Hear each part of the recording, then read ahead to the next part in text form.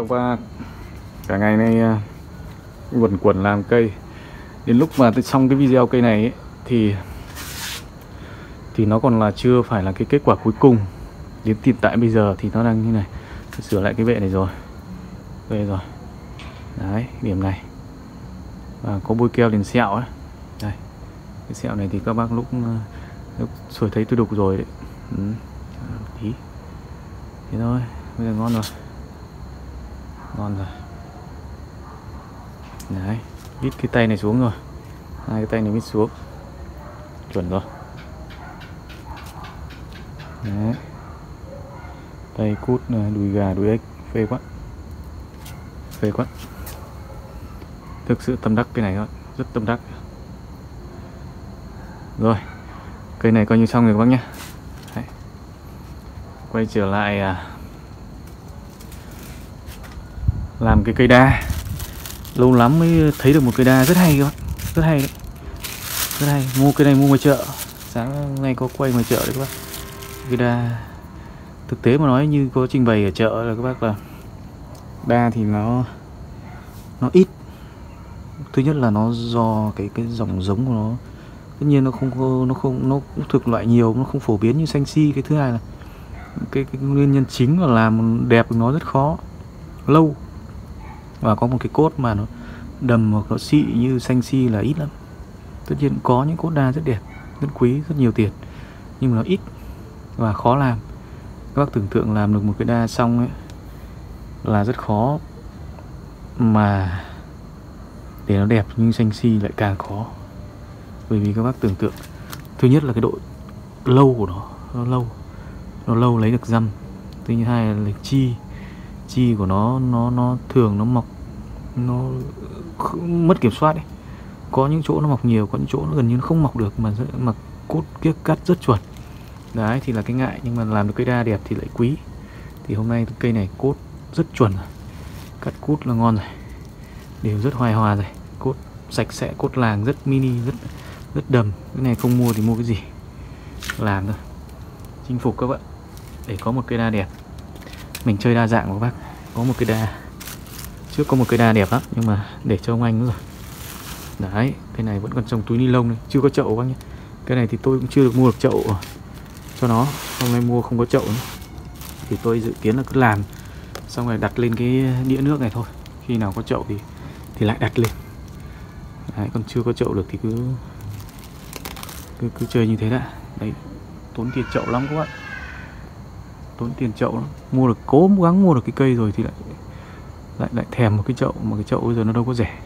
Tất nhiên chậu nào cũng trồng được thôi nhưng mình mình mình thích những cái chậu đẹp thì, thì phải chịu thôi. Như làm là kiểu ăn mày em thích ăn xuôi gấc ấy, các bác. Đấy. ok bây giờ làm cây này các bác nhé. Làm sớm ờ, đục đẽo gì để cho hàng xóm còn đi ngủ. Đồ nghề suốt ngày bày bẩn xong lại suốt ngày quét dọn lại bày bẩn điệp khúc điệp khúc các bạn này, có cây này phải xử lý đến đục à? có đục. Nhìn thấy là có đục. Nhìn thấy là phải đục quật vài chỗ rồi.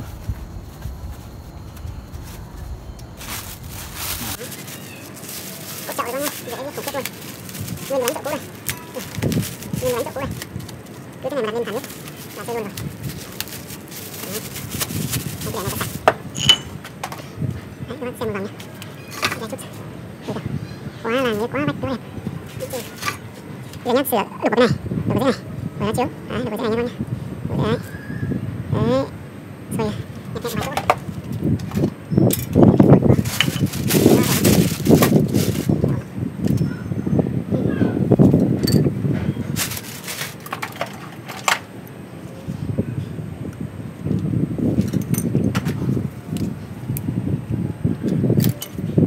Bỏ cái dây này. Đấy, bỏ cái dây này. Đâu phần kia thì bỏ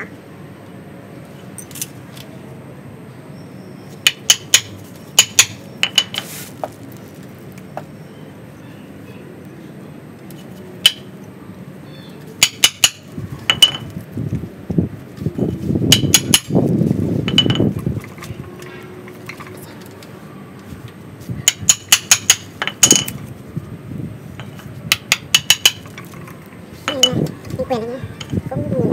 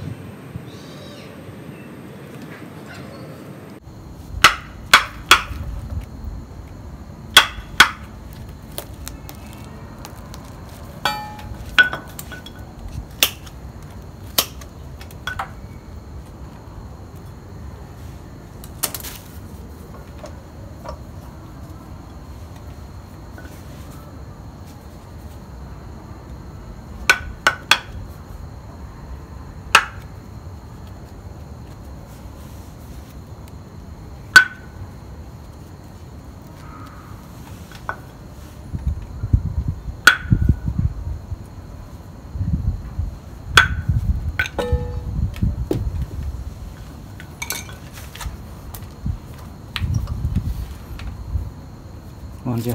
Ngon các bác. Giờ tôi lấy dây tôi nắn ra các bác nhá. Tôi nắn hết những cái rễ này ra để cho nó chảy ra các bác nhá. Xong các bác xem kết quả nhé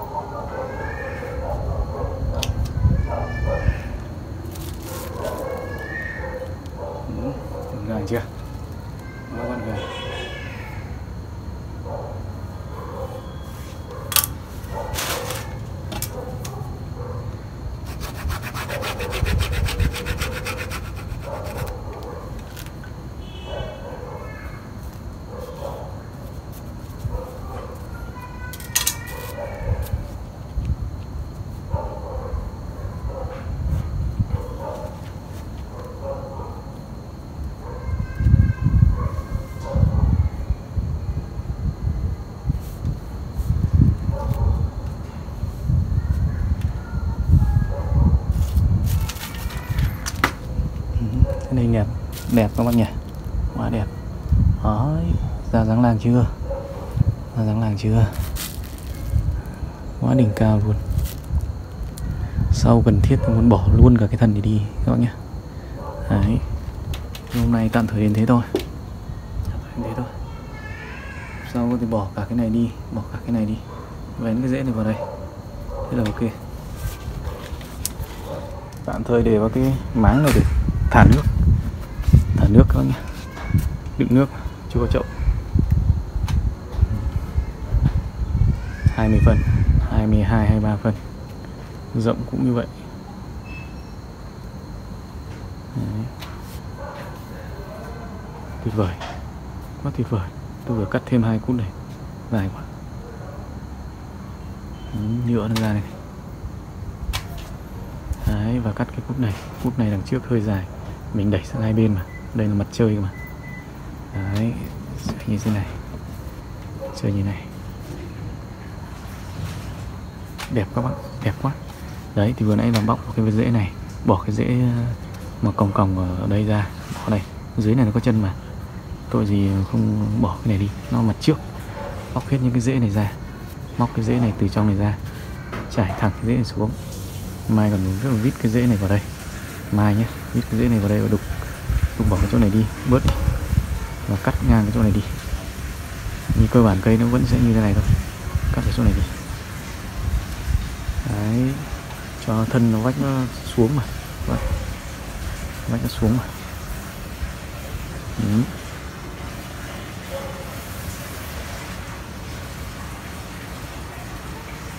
đẹp đẹp quá. Đây trải thẳng, nắn thẳng những cái vách này ra. Móc hết những cái vách ở trong này ra nó thẳng xuống. Đấy mà nắn kéo dây hết. Này vít thẳng ra. Móc bỏ hết cái màng này ra. Cả cái màng này cắt đi hết này. Cắt đi hết luôn đấy vừa nãy nó dính chi chít với nhau đây. Thì đã tách ra đi rồi. Đấy. Đấy. Ngon các bác rất ngon đấy. Đây nguyên cái cốt chợ cũ này. Chắc khoảng độ uh, 35 uh, chợ khoảng 25 35 à quên ừ, đúng rồi 25 35 cái chỗ cũ đấy dân làng tay cút rất mẫm rất đẹp cắt cút. Cái này được cái mình không phải cắt mấy không phải được mà chán không cắt mấy. Cắt những cái, cái, cái, cái khẩu này sướng lắm. Vừa được thịt ba cái khẩu thịt lại thôi. Đấy. Ừ. ok đẹp rồi các bác. Chúc mừng em đi các bác. Cây đẹp. Rồi xin cảm ơn các bác nha chúc các bác càng nhiều cây đẹp. Cây đa như này là hơi ít đấy. To thì nhiều lắm. Bé này ít lắm. Không có đâu ạ. Một hai cây thì có tôi thấy à, anh em chơi sở hữu rồi. Không móc ra được. Hiện đang có cái cây đa mà ngày xưa nhỏ nhỏ trong nhà, nhà anh Tân ấy. Và anh Quyền này đang sở hữu. Nhưng mà nó hoàn thiện rồi. Đấy, còn cốt đặc thì là cái này. Đặc vừa đặc vừa vách. Đấy nhá. Chúc các bác ngủ ngon.